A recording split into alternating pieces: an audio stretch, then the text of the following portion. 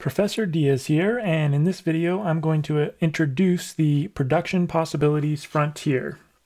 So the Production Possibilities Frontier, or PPF, um, is the first graph we cover in this course. On the y-axis, and when I say y-axis, I'm talking about up and down. When I say x-axis, I'm talking about side to side. So up here is y, over here is x. Um, on the y-axis, we have a good, and on the x-axis, we have a different good. So these can be any goods. Um, guns and butter has been a traditional or historical economic thing to choose, but we're going to go ahead and say um, apples and uh, we'll say blueberries. Okay, so apples and blueberries. That looks more like a cherry. Let's say cherry, cherries and blueberries. Okay. So the production possibilities frontier is a graph that shows a country's opportunity to produce one of two goods. Okay, so this isn't a this is a model that assumes that a country can only produce two goods. Okay, so it's just a model because of course every country can produce um, hundreds, thousands, millions of different goods and services, right? So we're going to assume for simplicity that this country can only produce two goods. They can produce cherries over here, or they can produce blueberries. Now, the more cherries they produce, um, the less blueberries they produce. And conversely, the more blueberries they produce, the less cherries they produce. So let's say that this country can produce one, two, three, four uh, cherries if they'd like. So we can say 4 million cherries or 4 cherries. It doesn't really matter because this is just a model, right? And if they produce 4 cherries going up. Ready? One, two, three, four. They produce zero blueberries. Okay, so we can put some hash marks here on the blueberry line. One, two, three, four. And so if they produce uh, four cherries, then they produce zero blueberries. So we could make a mark right here. And conversely, let's say that this same country, if they produce all blueberries, can produce no cherries.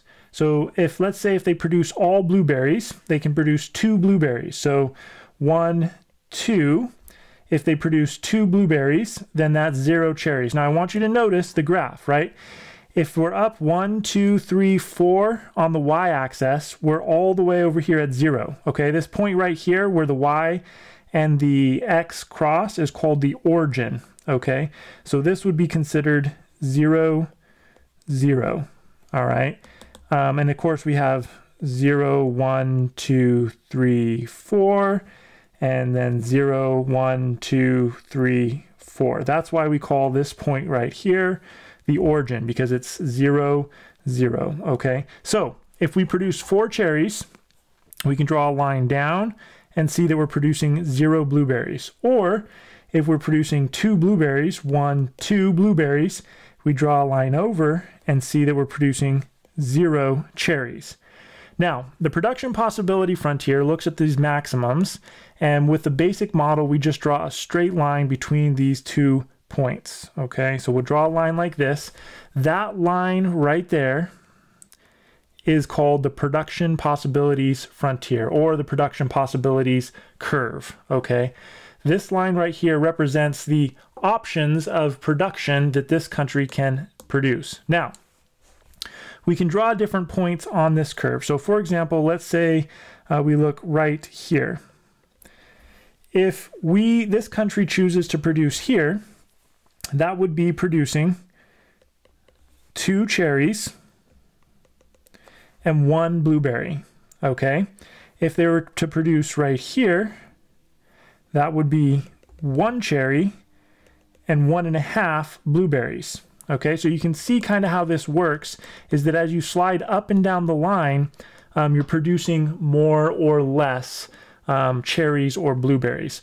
Now, notice as long as you're on this line, so let's say you're right here, you cannot produce more blueberries, that is, move over this way, unless you also produce less cherries. Okay, in order to produce more blueberries, that is to slide over, you also have to slide down. This is our first um, application of opportunity cost. If we want to slide in the direction of producing more blueberries, we have to slide down in the production of cherries, right?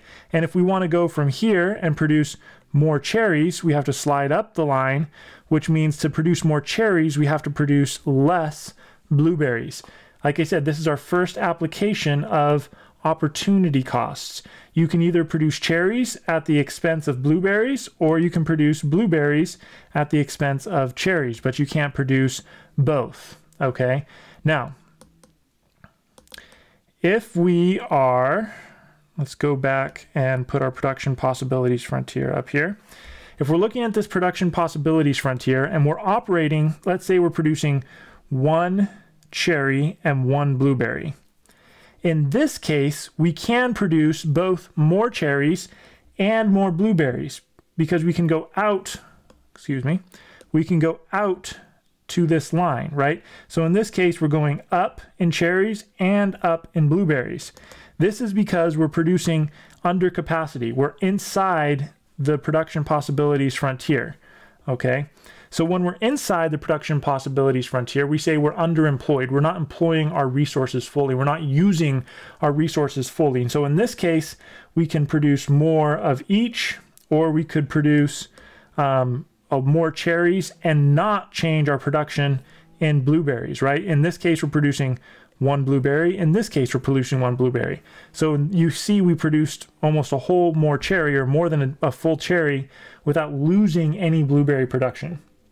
This is because we're underemployed. We're underemploying our resources, okay? If the if the production point is out here, we would call this unattainable, right?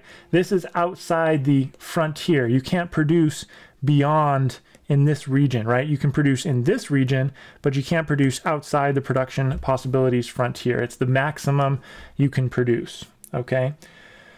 Um, this is basically, uh, I think, a good stopping point. This introduces the idea of production possibilities frontier. We'll come back in the next video and I will introduce the curve production possibilities frontier.